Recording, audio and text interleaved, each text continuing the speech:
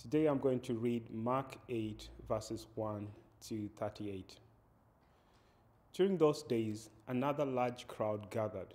Since they had nothing to eat, Jesus called his disciples to him and said, I have compassion for these people. They have already been with me three days and have nothing to eat. If I send them home hungry, they will collapse on the way, because some of them have come a long distance. His disciples answered, But where in this remote place can anyone get enough bread to feed them? How many loaves do you have? Jesus asked. Seven, they replied. He told the crowd to sit down on the ground. When he had taken seven loaves and given thanks, he broke them and gave them to his disciples to distribute to the people, and they did so. They had a few fish as well. He gave thanks for them also and told the disciples to distribute them. The people ate and were satisfied.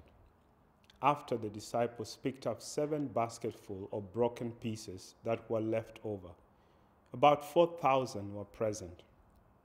After he had sent them away, he got into the boat with his disciples and went to the region of Dalmanutha. The Pharisees came and began to question Jesus. To test him, they asked him for a sign from heaven. He sighed deeply and said, Why does this generation ask for a sign? Truly I tell you, no sign will be given to it. Then he left them, got back into the boat, and crossed to the other side. The disciples had forgotten to bring bread, except for one loaf they had with them in the boat. Be careful, Jesus warned them. Watch out for the yeast of the Pharisees and that of Herod. They discussed this one another and said, It's because we have no bread. Aware of their discussion, Jesus asked them, Why are you talking about having no bread? Do you still not see or understand? Are your hearts hardened? Do you have eyes but fail to see and ears fail to hear? And don't you remember when I broke the five loaves for the 5,000? How many baskets of pieces did you pick up? Twelve, they replied.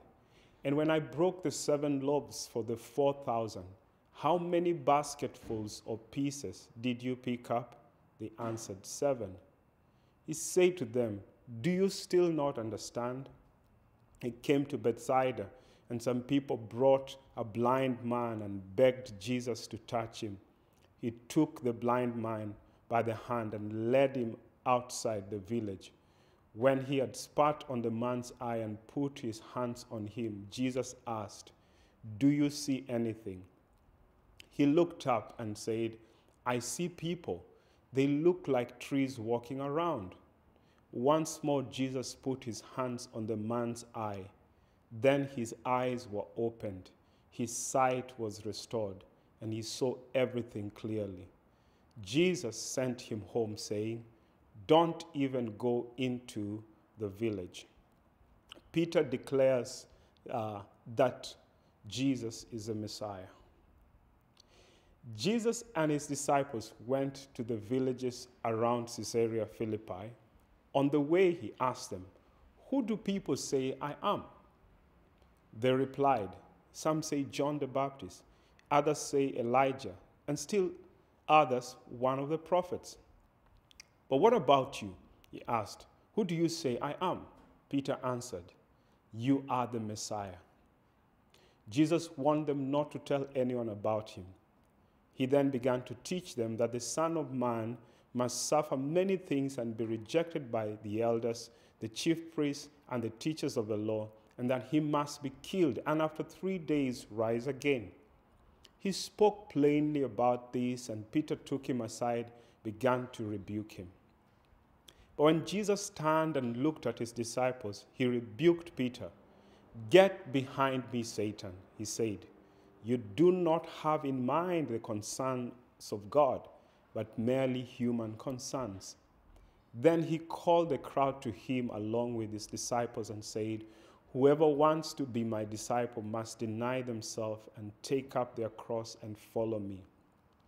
Whoever wants to save their life will lose it, but whoever loses their life for me, for the gospel, I will save it. What good is it for someone to gain the whole world, yet forfeit their soul?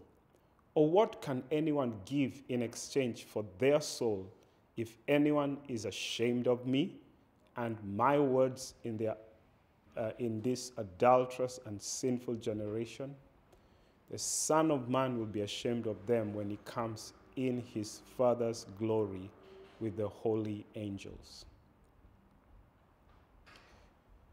Now, this morning, uh, something really, really struck me as we read this portion of Scripture. And it's a part where Jesus is asking his disciples, Have you forgotten about the provision of God, which was that he had provided for the 5,000, and a few days before, he had just provided for the 4,000 who had gathered. And while they're in the boat, they had quickly forgotten about how God provides, and they were thinking about bread again. Today, as you go uh, on with your day, think about just how quick sometimes we're tempted to forget and forget the Father's provision for us. God has provided. May we be quick to remember that He will continue providing. Thank you.